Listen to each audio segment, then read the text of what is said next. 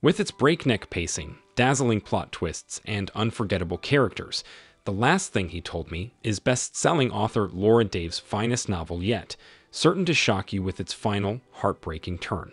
It was the last thing he told me. Before Owen Michaels disappears, he manages to smuggle a note to his new wife, Hannah. Protect her. Hannah knows exactly who Owen needs her to protect his 16 year old daughter, Bailey, who lost her mother tragically as a child, and who wants absolutely nothing to do with her new stepmother. We are here together, and we both want to keep going. We both want to find Owen, whatever he has been hiding, wherever he is now. Laura Dave is a new face to me, but she has already experienced a great deal of success as a writer.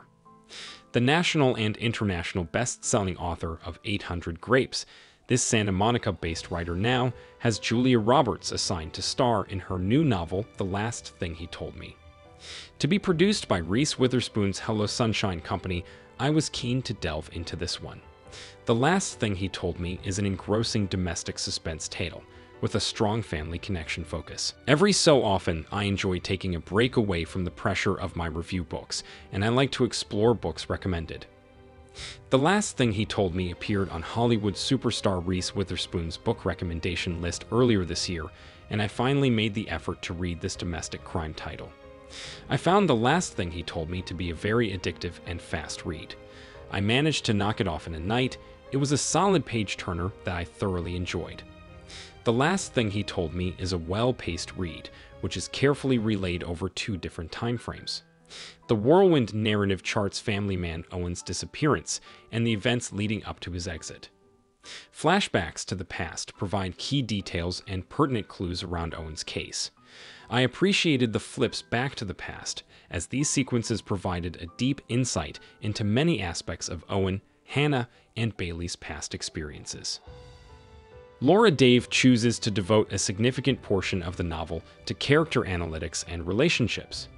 We observe the evolving connection between Bailey and Hannah as the story unfolds. This was the most satisfying aspect of the last thing he told me.